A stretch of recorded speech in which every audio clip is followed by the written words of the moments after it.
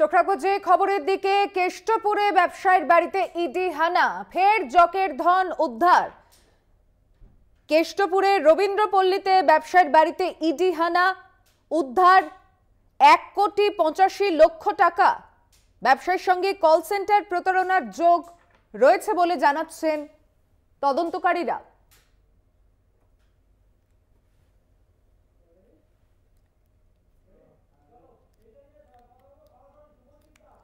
সরাসরি চলে যাচ্ছে আমাদের সঙ্গে রয়েছেন প্রতিনিধি সুমন শিকদার। সুমন, কি জানাচ্ছেন এই ব্যক্তি সম্পর্কে কি জানাচ্ছেন স্থানীয়রা?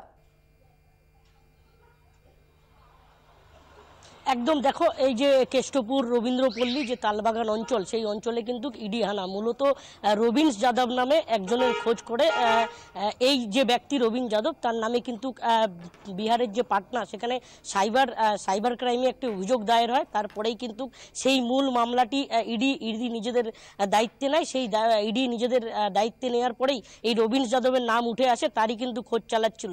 ইডি আধিকারিকরা মূলত এই সন্ধান পায় যে রবিন্স যাদব, তিনি কিন্তু এই কেষ্টপুরের যে রবীন্দ্রপল্লী, সেই রবীন্দ্রপল্লীর তালবাগান অঞ্চলের কিন্তু এ এফ একশো উননব্বই বাই ওয়ান একটি বাড়িতে ভাড়া আছে।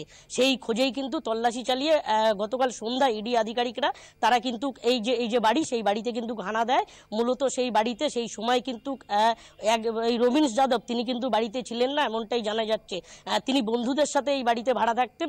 একজন বন্ধু তার সেই সময় কিন্তু বাড়িতে উপস্থিত ছিল এবং এই বাড়ি থেকেই যখন ইডি তল্লাশি চালায়, সেই সময় কিন্তু এক কোটি Ah, que পঁচাশি লক্ষ টাকা উদ্ধার হয় ইডি সূত্রে এমনটাই খবর। তারপরেই কিন্তু যে দীর্ঘক্ষণ জিজ্ঞাসাবাদ হয়, মূলত যে তোমাকে যেটা জানালাম যে পাট, বিহারের পাটনার একটি সাইবার মামলা, সেই সেই সাইবার থানায় যে অভিযোগ হয়েছিল, সেই অভিযোগে কিন্তু এই রবিন্স যাদব তার নাম উঠে আসে। তারপরেই কিন্তু ইডি ইডি আধিকারিকরা এই যখন এই মূলত এই কেসটা যখন হাতে নেয় তারপরে কিন্তু এই রবিন রবিন্স যাদবের খোঁজ চালাচ্ছিল। তারপরে ইডির খোঁজ পায় যে এই কেষ্টপুর অঞ্চল, সেই কেষ্টপুর অঞ্চলের যে রবীন্দ্রপল্লী তালবাগান, সেই তালবাগানেই কিন্তু এই ভাড়া রয়েছে মূলত এই রবীন্দ্র যাদব। তারপরে এই অভিযান। যদিও বাড়ির মালিক তিনি ক্যামেরার সামনে কিছু না জানালেও এই, এইটুখানি তিনি জানিয়েছেন যে গতকাল কিন্তু ইডি আধিকারিকরা এসেছিল এবং তারা তল্লাশি চালিয়েছে। এখনও পর্যন্ত এক কোটি পঞ্চাশি লক্ষ টাকা উদ্ধার হয়েছে ব্যবসায়ীর সঙ্গে কল সেন্টারের প্রতারণা যোগ রয়েছে।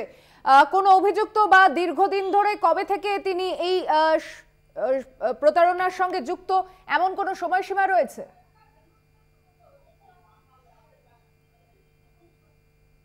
না, একদম দেখো যখন কিন্তু ইডি আধিকারিকরা এই বাড়িতে আসে, তখন কিন্তু বাড়ির মালিক তিনি যে ক্যামেরার সামনে না বললেও মূলত তিনি জানাচ্ছেন যে এলাকায় খুব চুপ মানে সেরকম বোঝা যায়নি যে উনি এরকমভাবে যুক্ত থাকতে পারেন।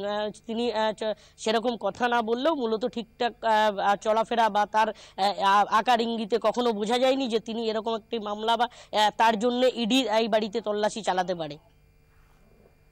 ধন্যবাদ।